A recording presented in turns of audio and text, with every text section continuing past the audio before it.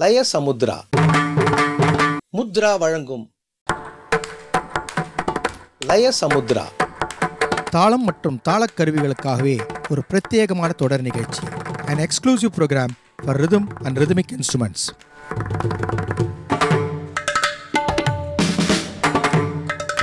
Laya Samudra தாளம் மற்றும் தாளக் கருவிகளுக்காகவே ஒரு பிரத்யேகமான தொடர் நிகழ்ச்சி.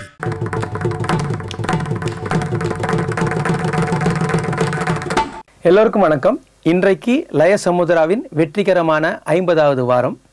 தாளத்தை பற்றியும் தாளத்தில் உள்ள கணக்குகளை பற்றியும் சொல்ல ஒரு லயக்கோலம் என்ற பகுதியும் தாளவாதிய கருவிகளின் உருவாக்கம் அதை வாசிக்கும் முறைக்காக ஒரு லயத்வனி என்ற பகுதியும் வித்வான்கள் வாசிக்கும் தனியாவர்தனத்துக்காக ஒரு லய விந்யாசம் என்ற பகுதியும் அவர்களுடைய அனுபவத்தை சொல்ல லய அனுபவம் என்ற பகுதியும் லய மேதைகளின் சரித்திரத்தை சொல்ல லய சித்திரம் என்ற பகுதியும் மற்றும் லய விஷயங்களில் கேள்வி கேட்டு உங்களை சிந்திக்க வைக்கும் லய புதிர் என்ற பல பகுதிகளை இந்த லய சமுதிரா நிகழ்ச்சியில் ஐம்பது வாரத்தில் உங்களுக்கு அளித்திருக்கிறோம். தொலைக்காட்சியிலேயே முதல் முறையாக தாளம் தாளவத்தியத்திற்காக ஒரு பிரத்யேகமான இந்த மாதிரி ஒரு தொடர் நிகழ்ச்சி வெற்றிகரமாக ஐம்பது வாரம் வந்ததற்காக எங்களது மனமார்ந்த நன்றியை தெரிவித்துக் கொள்கிறோம். அவர் பாட்டுக்கு வாசிக்காம அவர் பாட்டுக்கு வாசித்து ஒரு கச்சேரியை ஒரு நல்ல மேன்மையான நிலையில் கொண்டு செல்லும் முத்திரை பதித்த வித்தகராக ஐம்பத்தெட்டு வருடங்கள் இந்த கலை உலகில் ஒரு மிருதங்க கலைஞராக கலைச்சேவை செய்யும் லயமேதை எனது குருநாதர் திரு மன்னார்குடி ஈஸ்வரன் அவர்கள் வந்திருக்கிறார்கள். அவருக்காக பாட வித்வான் திரு ஏ எஸ் முரளி அவர்கள் வந்திருக்கிறார்கள். கல்பித்த சங்கீதமாகிய வர்ணம் கிருதி கீர்த்தனை துக்குடா இதுக்கெல்லாம் எப்படி வாசிக்கிறது? அதே மாதிரி மனோதர்ம சங்கீதமாகிய ஒரு நிரவல் கல்பனாஸ்வரம் ராகம் தானபல்லவி இதுக்கெல்லாம் எப்படி வாசிக்கிறதுன்னு பற்றி இன்னைக்கு மன்னார்குடி ஈஸ்வரன் சார் நமக்கு சொல்ல போகிறார் அதை நம்ம இப்போ பார்ப்போமா? சென்னை பொதிகை தொலைக்காட்சி நேயர்களை இன்று இந்த லய சமுத்திராவின் அம் ஐம்பதாவது பகுதியில் உங்களை எல்லோரையும் சந்திப்பதில் நான் பெரும் மகிழ்ச்சி அடைகிறேன். உங்களுக்கு எல்லாருக்கும் தெரியும் ஒரு கச்சேரியில் ஆரம்பத்தில் வர்ணம் பாடுவார்கள். இந்த வர்ணத்திற்கு எப்படி மிருதங்கம் வாசிக்கிறது என்பதை என் குருநாதர் சொல்லியபடி நான் வாசித்து காண்பிக்கிறேன். கேளுங்க சரசூட நின்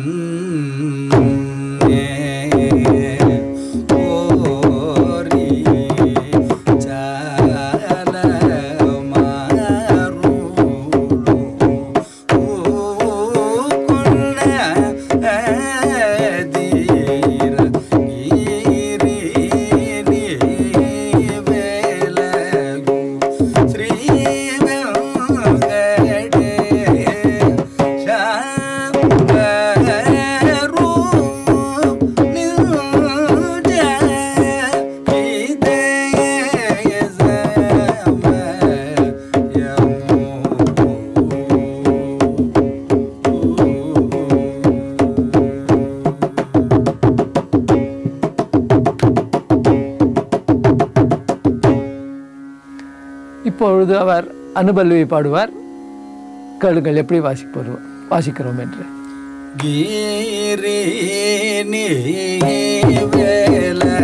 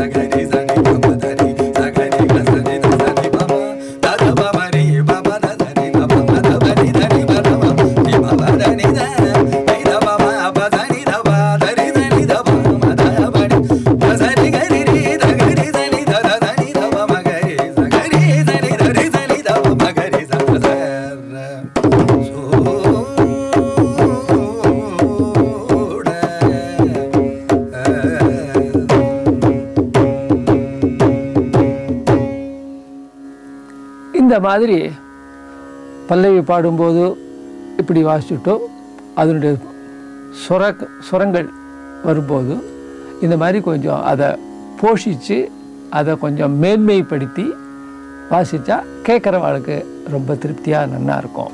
இன்னொரு கீர்த்தனை அவர் பாடுவார். அது வந்து நல்ல விளம்ப காலமான கீர்த்தனை.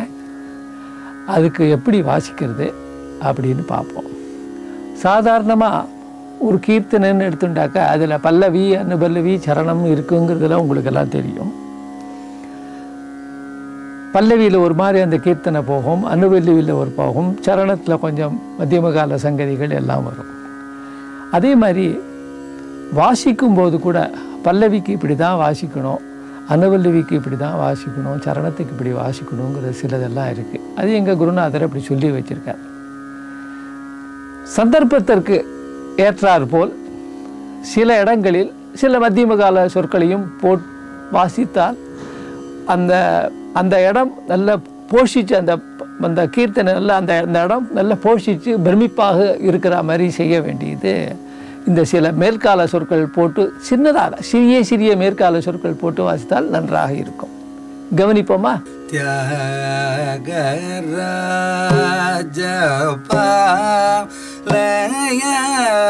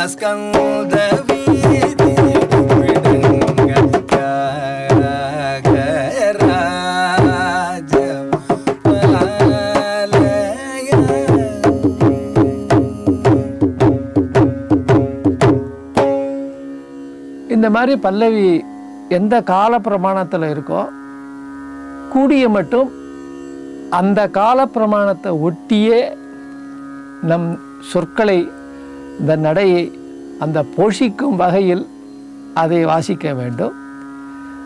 அந்த முடிகிற இடத்துல ஒரு மேல்காலமாக ஒரு சின்னதாக ஒரு ஃப்ரேசஸ் வாசி முடித்தா கேட்குறவாளுக்கு நல்லா இருக்கும்.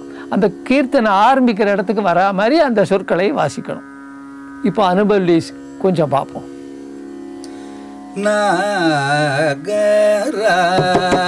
நாகராஜமணி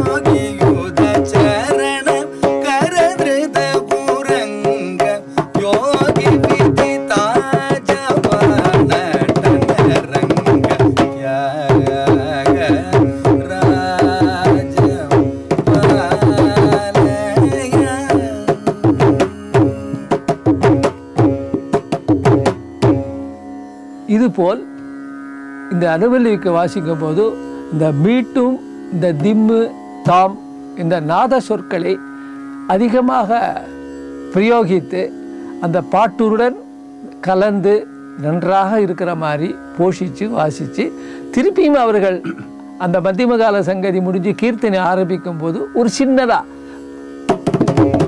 அப்படின்னு வாசிச்சேன் இல்லையா? அந்த மாதிரி ஒரு சின்னதாக ஒரு அறுதி மாதிரி இருக்கிற வாசி அந்த திருப்பி அந்த பாட்டை எடுக்கிறதுக்கு உதவியாக இருக்கணும். இப்பொழுதோ இந்த ரொம்ப இ- இழுவையான ஒரு கீர்த்தனைக்கு வாசிக்கிறது என்ன என்னங்கிறத கொஞ்சம் பார்த்தோம். இப்போ ஒரு கொஞ்சம் அந்த மத்தியமான மத்தியம கால கீர்த்தனைக்கு வாசிக்கும் பொழுது எப்படி வாசிக்கணுங்கிறத பார்ப்போம். அப்பவும் மத்தியம கால கீர்த்தனையாக இருந்தாலும் பல்லவி எந்த காலப்பிரமாணத்தில் இருக்கோ அதுக்கு ஏற்றாற்போல் சொற்களை வாசி வாசிப்பது தான் உகந்தது.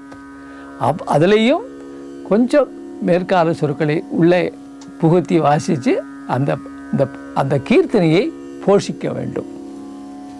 பார்ப்போம். ஜானகி ரமண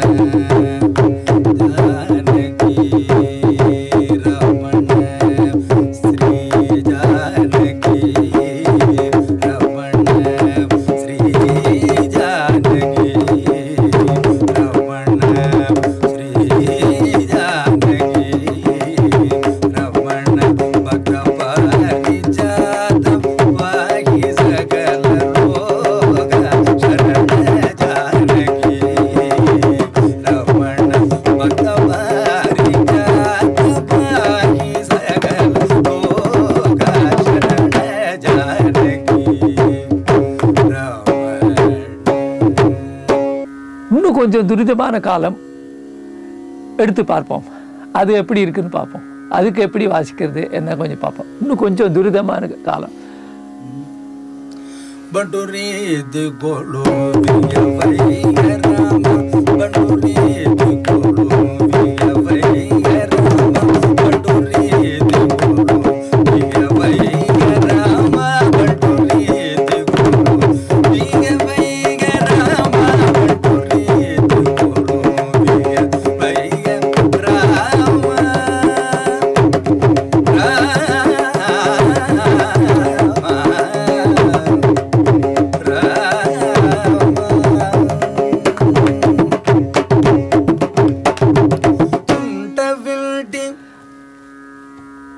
மாதிரி கொஞ்சம் விறுவிறுப்பான சொற்களை போட்டு அனுபல்வி எந்த இடத்தில் ஆரம்பிக்கிறார்களோ அதுக்கு வரா மாதிரி ஒரு சின்னதாக அருதி வாசித்து அதை எடுத்து அது அந்த இடத்துக்கு வரா மாதிரி அனுபவலி எடுக்கிறதுக்கு உகந்த மாதிரி அந்த அருதி வாசி போஷிக்க செய்ய வேண்டும்.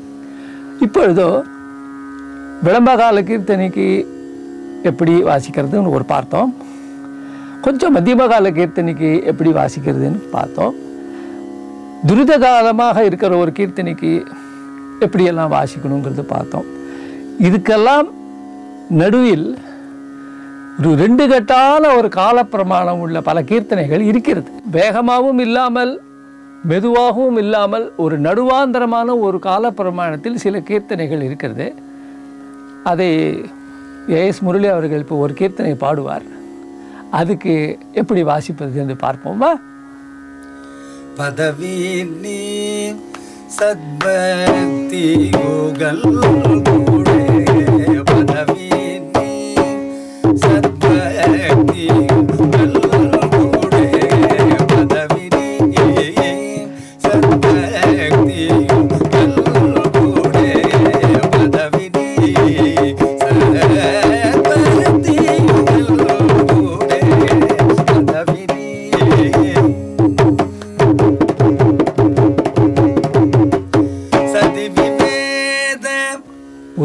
விளம்பரமான கீர்த்தனைகளுக்கு எப்படி வாசிப்பது? மத்தியமகால உருப்படிகளுக்கு எப்படி வாசிப்பது? இந்த மாதிரி வேகமாகவும் இல்லாமல் மெதுவாகவும் இல்லாமல் ரெண்டு கட்டம் கால பிரமாணத்தில் வரும் கீர்த்தனைகளுக்கு வாசிப்பது எப்படி என்று கேட்டு கேட்டு அந்த அனுபவத்தில் தான் நம்ம நன்றாக வாசிக்க முடியும். சாதாரணமாக ஒரு அனுபல்லவி முடிஞ்சு பல்லவி முடிஞ்சு அனுபல்விக்கு வரும்பொழுது சிறியதாக அறுதி வாசித்தால் நன்றாக இருக்கும். அதே மாதிரி அனுபவியில் அனுபல்லவியிலிருந்து சரணத்துக்கு போகும்போது சிறியதாக இருந்தால் அதாவது மினிமம் ஒரு ஆறு அக்ஷரம் எட்டு அக்ஷரத்துக்குள்ளே அந்த அறுதி இருந்தால் நன்றாக இருக்கும். இப்போது ஒரு பெரிய கீர்த்தனை சுரங்கள் பாடி நிரவல் பாடி சுரங்கள் பாடி ஒரு பெரிய விதமான ஒரு கோர்வைகள்லாம் வச்சு ஒரு கீர்த்தனையை முடிக்கிறார்கள் என்றால் சற்று பெரியதாக ஒரு அறுதி இல்லைன்னா தீர்மானம். இதை வாசித்து பிரமிப்பாக வாசித்து முடித்தா அந்த கீர்த்தனையை நம்ம அப்படியே தூக்கி விட்ட மாதிரி ஒரு ஏற்ப ஒரு உணர்ச்சி ஏற்படும். கேட் கேட்பவர்களுக்கு அந்த உணர்ச்சி ஏற்படும். பாடகர் ஒரு கீர்த்தனை ஆரம்பி ஆரம்பித்தவுடன் அதனுடைய காலப்பிரமாணம் என்ன என்று புரிய புரிவதற்கு முன்னாடியே நம்மளே வாசிக்க ஆரம்பிச்சிட்டோம்னாக்கா நன்னா இருக்காது. ஒரு அரை ஆவர்த்தனம் அந்த பாட்டை நன்னா விட்டு அதனுடைய காலப்பிரமாணத்தை புரிந்து கொண்டு வாசிப்பது நல்லது. இப்பொழுது நான் காலப்பிரமாணத்தை புரிந்து கொள்ளாமல் அவர் அவர் ஆரம்பித்த உடனே நானும் வாசிக்கிறேன். அது எப்படி இருக்கு பாருங்க. அதுக்கப்புறமா அது கரெக்டாக வருஷனை பார்ப்போம்.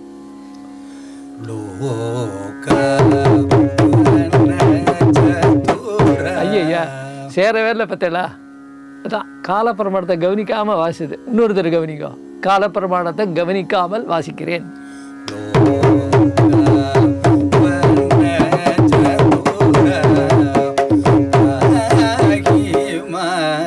நன்னாவே இல்லை. எனக்கே பிடிக்கல. ஏன்டா அப்போ இப்படி வாசிக்கிறோன்னு எனக்கே மனசு ரொம்ப சங்கடமாக இருக்குது இன்னொரு தடவை அதே கீர்த்தனையை காலப்பிரமாணத்தை புரிந்து கொண்டு அந்த கீர்த்தனுடைய போக்கை புரிந்து கொண்டு நான் வாசிக்கிறேன். எப்படி இருக்கு பாருங்க. வன ஜதுர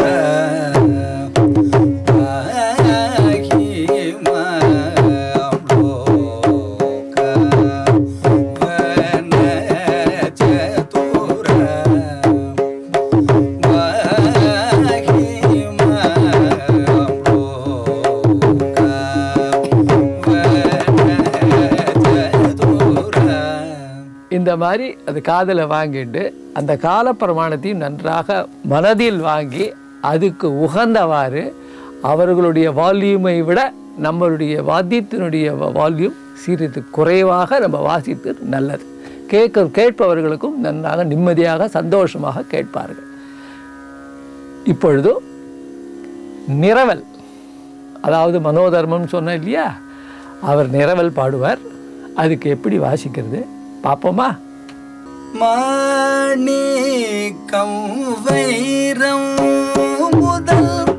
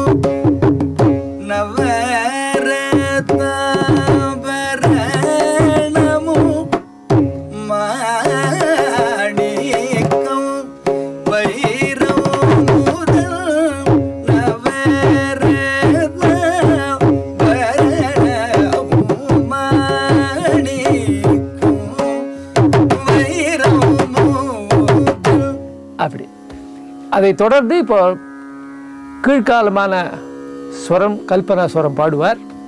அதை தொடர்ந்து மத்தியம கால ஸ்வரம் பாடி ஒரு சின்னதாக ஒரு கோர்வையை வச்சு பிடிக்க போகிறார் இது எல்லாமே கல்பனை தான் மனோதர்மம். இந்த மாதிரி இருக்கும்போது அவர் என்ன பண்ண போகிறாரு நமக்கு தெரியாது இல்லையா?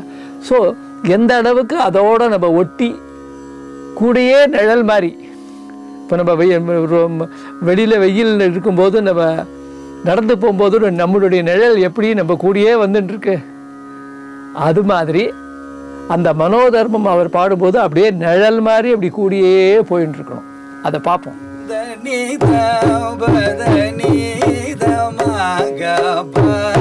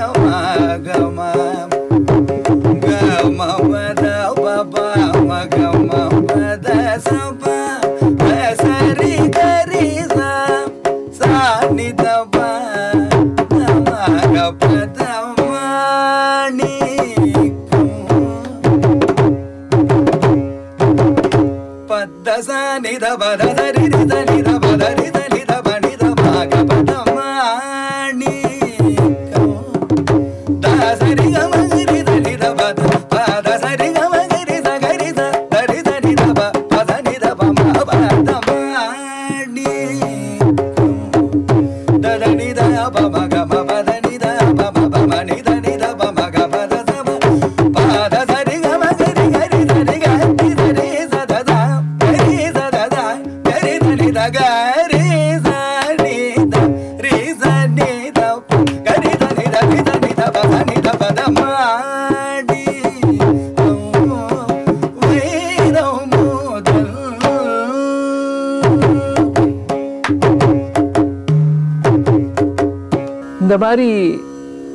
தர்மமாக மனோதர்மமாக பாடும்போது அதை காதில் வாங்கிட்டா தான் நம்ம நல்லா வாசிக்க முடியும். நிறைய கச்சேரி கேட்டு நிறைய கச்சேரிகளில் வாசித்து அந்த அனுபவம் தான் இந்த மாதிரி மனோதர்மங்கள் நிறவலாகட்டும் சுரங்கள் கோர்வை இதெல்லாம் வரும்போது நம்ம அவள் கூட சேர்ந்து வாசிக்கிறதுக்கு ஏதுவாக இருக்கும். இன்றைய லயசமுத்ரா பகுதியில் வர்ணத்திற்கு வாசிப்பது ஒரு விளம்பகால கீர்த்தனைக்கு வாசிக்கும் முறை ஒரு மத்தியமகால கீர்த்தனைக்கு வாசிக்கும் முறை ஒரு துரிதகால கீர்த்தனைகளுக்கு வாசிக்கும்போது இரண்டு கெட்டான ஒரு காலப்பிரமாணத்திற்கு வாசிப்பது ஒரு நிறவலுக்கு வாசிப்பது ஸ்வரத்திற்கு வாசிப்பது ஒரு கீர்த்தனைக்கு எப்படி காலப்பிரமாணத்தை புரிந்து கொண்டு எப்படி நம்ம அமுத்துறது அதை பார்த்தோம். உங்களுக்கு சந்தோஷமாக இருக்கும்னு நினைக்கிறேன். சரியா? நன்றி வணக்கம். இது போன்று வரும் வாரங்களில் லய சமுத்ரா நிகழ்ச்சியில் அழகான லய அலைகள் தவழ்ந்து வருவதை நாம் காண்போம். தத் தித் தும் நம் தத் தி தும் நம் தத் தித் தும் நம் தத் தித் தும் நம் தா तद्धि तुम नम तद्धि तुम नम तद्धि तुम नम तद्धि तुम नम